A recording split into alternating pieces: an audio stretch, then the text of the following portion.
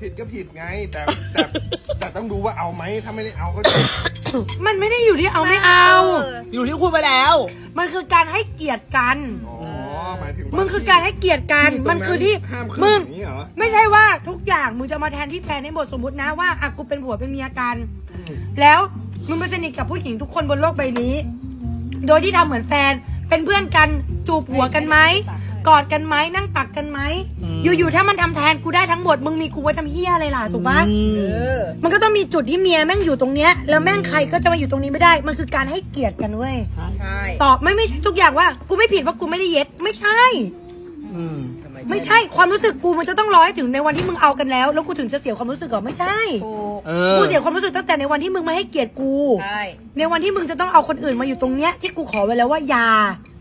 ที่นอนในห้องนอน หรือบางสิ่งบางอย่างที่มันไม่ควรที่จะทำแทนเมียถูกใช่ที่กูมันไม่ได้ขอจำเป็นไว้แล้วขนาดนั้นน่ะ ไม่ได้ทำให้มึงแม่งรวยขึ้นมาขนาดนั้น หรือว่าชีวิตมึงจะต้องแลกกับใครอะ ถูกก็อย่าทำเออ แล้วไม่เกี่ยวว่าใครมาสารแน่หลังมาก่อนนะ ไม่เกี่ยว ใช่ ไม่เกี่ยวไอ้เรื่องที่บอกว่ารู้จักกันมาก่อนเอเนี่ยอเออเออ ใช่ทฤษฎีเนี้ยเออใช้ไม่ได้ เออ ถ้าอย่างนั้นมึงอย่ามีเมียเลเอยอแง่มันเรื่องพี่หรือเปล่าวะ แง่ใช่มันเรื่องก็เต็มเป็นคนพูดว่าเขามาก่อนไง ไว้เสียงดังนะมึงอะแหมมันใช่เรื่องของเราไหมเนี่ย เอาง่ายๆ ถ้าทำอะไรพวกนี้ไม่ได้ อย่ามีเมีย เอเอออ